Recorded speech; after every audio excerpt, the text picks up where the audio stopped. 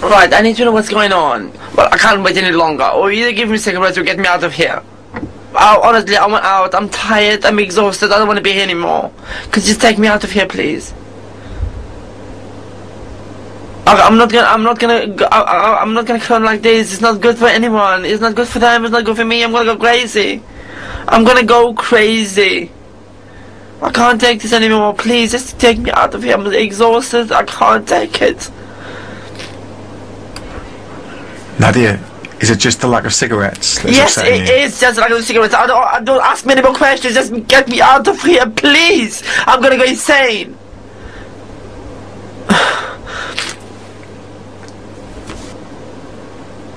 Look at me. Look at me. You think this is funny? This is not funny.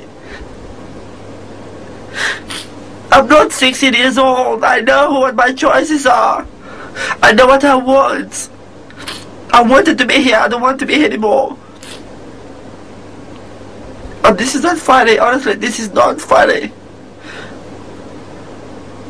It's not funny at all.